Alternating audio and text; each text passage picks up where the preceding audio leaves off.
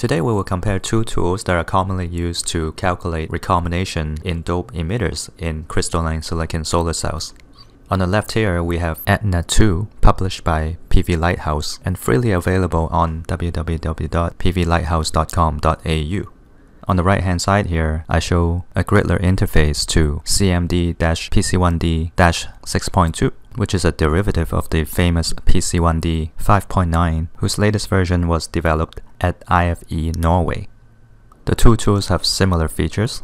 They can both import or define dopant profiles. They both calculate the emitter sheet resistance at equilibrium, the emitter saturation current density, which is a measure of recombination in the emitter, and they both evaluate the IQE, the quantum efficiency or the ability for these emitters to convert absorbed light into short circuit current. Now, the modeling behind these two tools are slightly different. They both use Fermi-Dirac statistics in the calculation of carrier concentrations. However, EDNA2 assumes that the entire emitter region is quasi-neutral whereas CMD PC1D-6.2 does evaluate the electrostatic potential in the entire layer of the emitter, just as PC1D 5.9 did before. Whether or not in practice this leads to any difference in the outputs is, I guess, one of the topics of this video.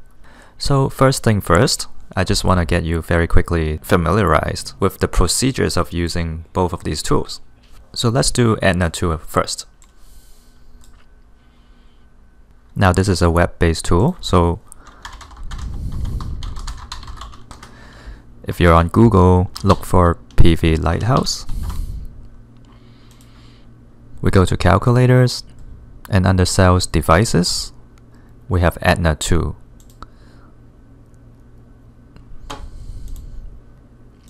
Whereas to access PC1D, I will show you today how to do it from the Griddler 2.5 Pro interface. So we're gonna launch Griddler. Here, we're using the version 2.50021 released on May 25th, 2018. It is important that you constantly update your version of Griddler, and recently we have gone through some refinements in the emitter calculation procedure. So please ensure that you have version 2.50021 or later. Okay, so back to the process of running emitter simulations. We're just gonna load an example cell And then from here, we go to cell cross section. And next to the emitter, we hit calc. And that brings up this dope layer window. And this is our interface to PC1D.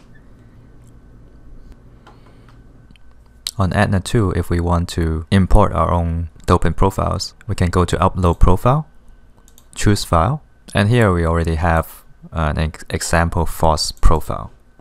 So this is a phosphorus profile. In the calculator page, it's important to choose that the profile is uploaded and set the dopant species in the background to boron. Concentration we're going to set at 8E15. I'm going to leave the recombination models at the default state. After that, we must define other parameters related to this emitter. SN0 and SP0 denote the surface recombination velocities at the interface between the passivation and the emitter. So for this example, we're just going to set it at an arbitrary predefined value that we have chosen. And then the major outputs are just updated on the fly. So here we see that this emitter sheet resistance is 66.7 ohms per square. The saturation current density is 52.8 femtoamps per centimeter square. And the IQE is 86.9. On this last number, if we go to generation inputs, we can see that the IQE has been defined at a wavelength of 300 nanometer, which means 86.9% of 300 nanometer light, which has been absorbed in the emitter, uh, can be collected. Now let us go through the same exercise on the right in the PC1D caller of Griddler. So here we are also going to upload profile, the same example phos profile. We're going to set constant background concentration of the boron to also 8015. Also, it is important to go back to the cell diagram and go to the base and make sure that in the base we also have p-type doping with the same base doping. So we update that. You'll notice that in the PC1D interface, we have this box called use ionization factor at 25 degree. And what that means is, although here we have imported the net active donor concentration, meaning the substitutional phosphorus atoms concentration, not every phosphorus atom is ionized. Here we're going to account for this by choosing phosphorus. So that Griddler will make use of a table of the fraction of ionized phosphorus atoms versus concentration that was published in 2006 by Pietro Altermatt. So in fact, this ionization factor is also used in EDNA 2, it's just implied rather than explicitly chosen. Next, we're going to uncheck the box surfaces textured so as to calculate recombination parameters of the emitter if the wafer were planar. And then we're going to use the same surface recombination velocity number that's used over at the EDNA window. We're also going to use the same bulk lifetime, which is 100 microseconds. So now we have all the terms of the inputs being the same in both EDNA 2 and the PC1D caller of Griddler. So now we can hit this button PC1D for J0E and IQE. Wait one moment. And we produce numbers that are fairly consistent with EDNA. Sheet resistance is 65.6. Saturation current density is 52.5, which is pretty close. The IQE in the Griddler interface is plotted rather than given as number, but if we read out the number, it is 86.9, which is identical to the output of EDNA. Of course, we can try other phosphorus profiles and insert other SRVs.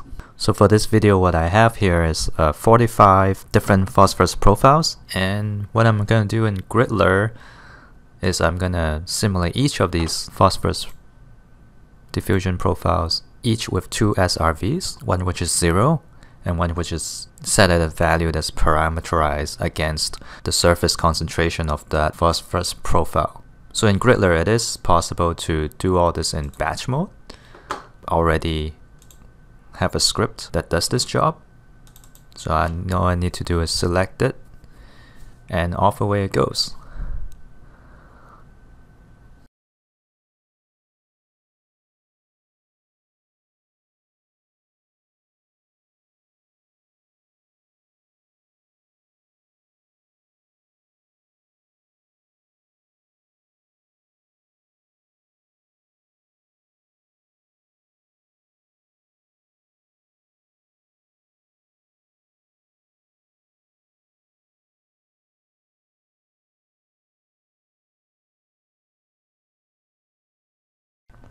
So Griddler has just finished parsing all the different phosphorus profiles and the results are here where for each case ran we have outputted for that profile an SRV, the sheet resistance, the SRV that is used to do the simulation, the calculated emitter J0, as well as the IQE evaluated at different wavelengths 300, 350, 400, and 450.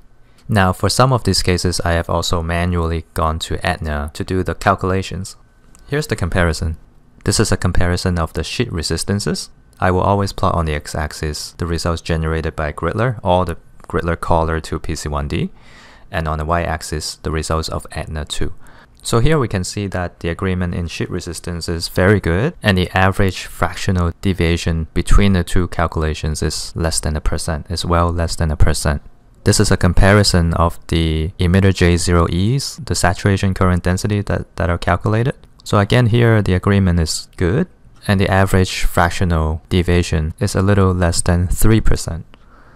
For the IQE evaluated at 300 nanometers, both of course predicts the same trend.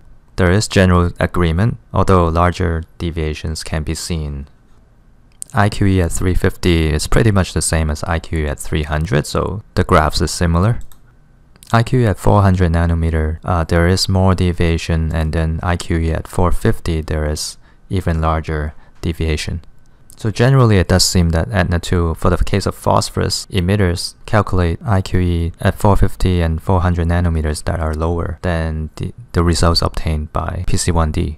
However, both of course trend the same way. So one can expect some slight differences in the short circuit current density, which is calculated based on the IQEs of EDNA 2 or in the Griddler PC1D interface. We also repeated the same exercise for 16 boron profiles, some of which were both simulated by EDNA and Griddler PC1D. Here's the comparison of sheet resistance. Again, the agreement is excellent, well under 1% fractional deviation between the two sets. For the emitter J0E, agreement is good. There is some slightly higher numbers reported by EDNA, but generally the agreement is good to within 7% on average. IQE agreement is very good for boron. At 300 nanometer, the deviation is very small. Same thing for 350 nanometer. And even at 400 nanometer and 450, the agreement between the two simulators is doing better than phosphorus emitter profiles.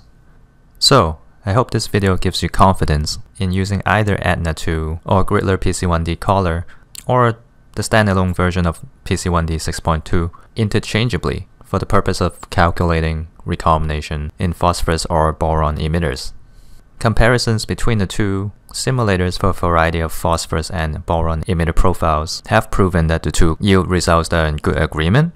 And also in 2014, the inventors of CMD PC1D6 have published a paper where they have also compared many generated boron and phosphorus Gaussian shaped profiles of various sheet resistances. And they have also concluded that the two simulators generally produce very similar results. And that in turn, their results are also similar to those of Sentaurus TCAD, which is considered state of the art.